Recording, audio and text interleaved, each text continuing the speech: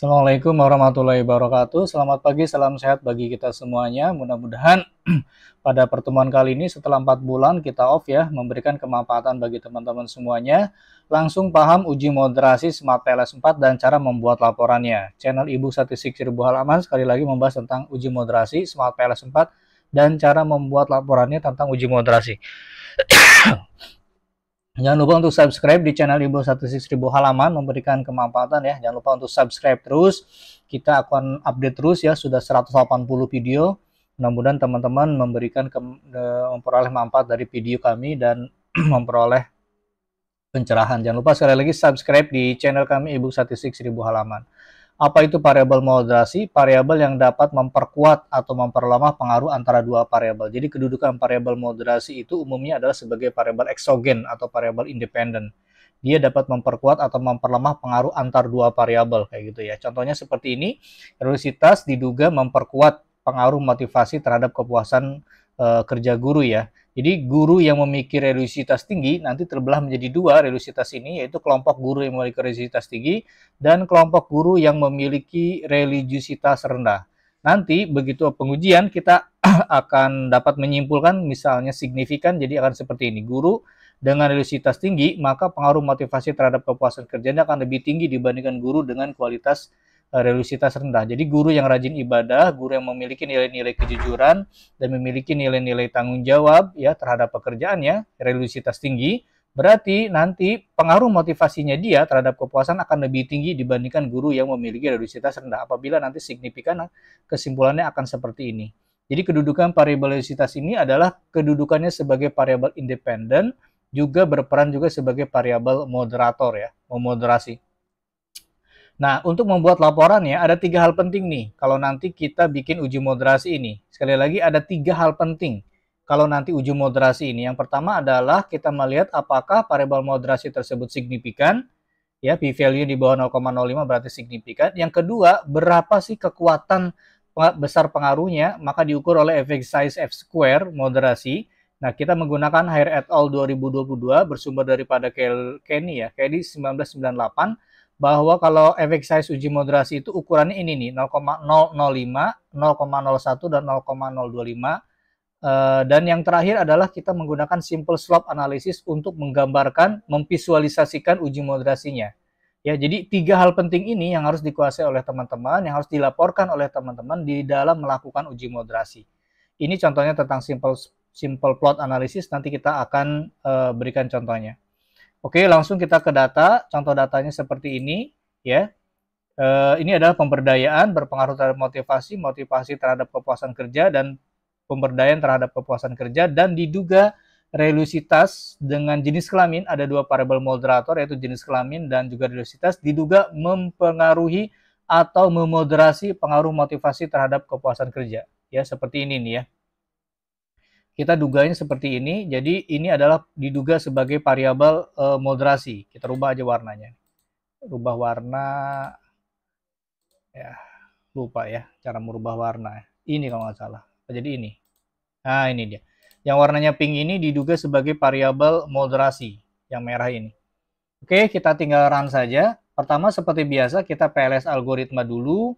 Ya, di dalam PLS algoritma ini kita melakukan evaluasi auto loading, ya seperti biasa, kemudian komposit compositability, AVCR dan lain-lainnya, kemudian juga HTMT dan juga Fortnite and Laker dan cross loading. Biasa ini evaluasi outer model dulu yang pertama.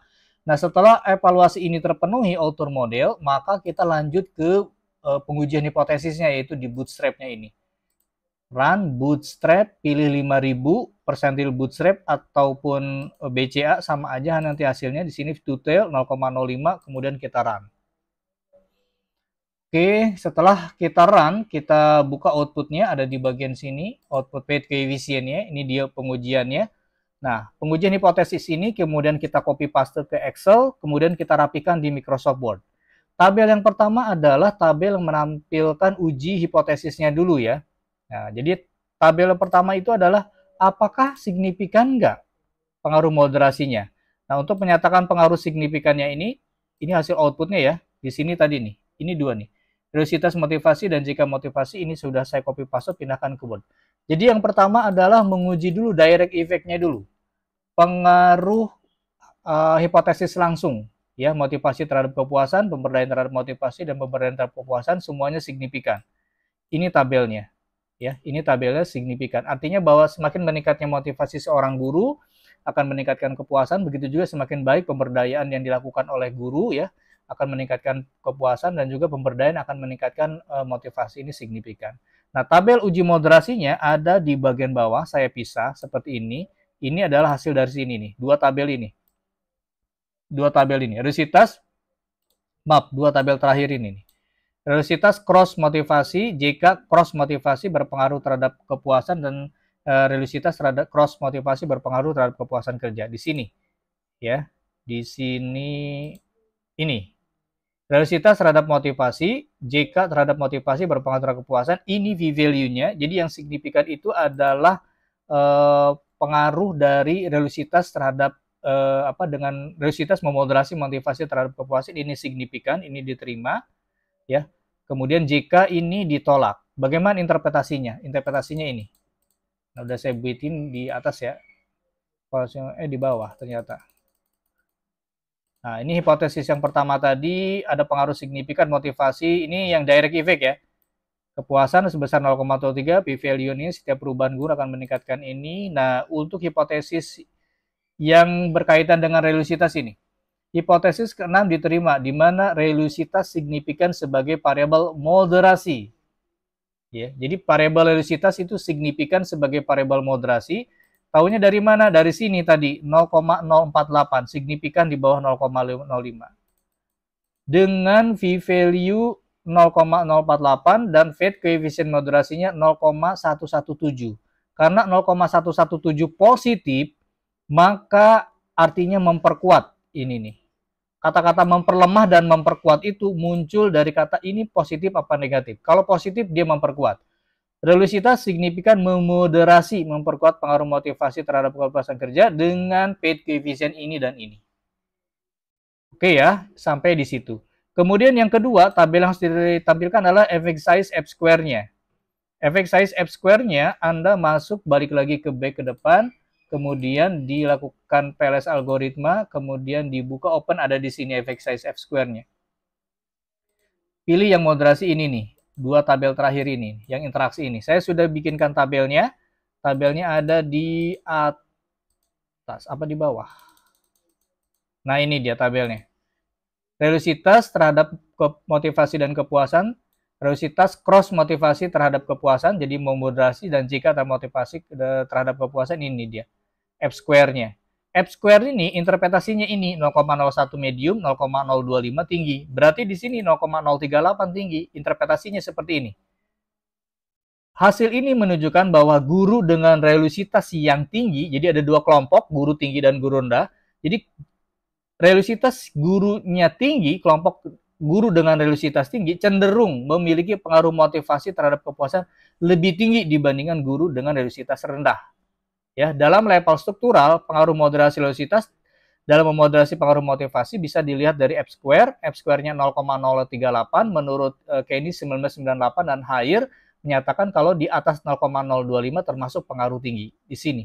Artinya bahwa kehadiran variabel moderasi ini sangat penting sebagai variabel moderator yang dapat mempertinggi, yang dapat memperkuat dan kedudukan ini sangat penting sekali. Kenapa? Karena tadi nilai F square-nya ini sangat di dikategorikan sebagai uh, apa namanya pengaruh moderator yang tinggi. Jadi guru dengan religiositas tinggi, ini kelompok guru dengan religiositas tinggi, dia itu punya ke, apa namanya punya pengaruh motivasi, daya dorong motivasi terhadap kepuasan kerjanya akan lebih tinggi dibandingkan guru dengan religiositas yang rendah. Jadi guru dengan eh, punya ibadah yang baik, punya nilai-nilai kejujuran yang baik, pengaruh motivasinya dalam mendorong kepuasan kerjanya akan lebih tinggi dibandingkan guru yang jarang ibadah, yang uh, nilai tanggung jawabnya rendah. Untuk bagian terakhir, ini kita akan gambarkan dengan simple slope analysis. Ini sudah ada di bagian ini ya, yang tadi di run ini, di run di sini, sudah ada outputnya di sini. Tinggal kita lihat simple slope analysis gambarnya seperti ini. Religiositas kali motivasi kalau signifikan, dia biasanya akan berbentuk cross seperti ini. Ini ada dua, yaitu garis merah dengan garis hijau dengan biru. Apa sih garis merah hijau biru? Ini saya sudah interpretasikan di sini nih. Garis merah adalah kelompok guru dengan religiositas rendah, ibadahnya rendah, ya, datangnya terlambat, guru yang religiositas rendah. Garis hijau adalah guru yang religiositasnya tinggi, rajin ibadah, memiliki nilai-nilai tanggung jawab, kejujuran, dan yang lainnya.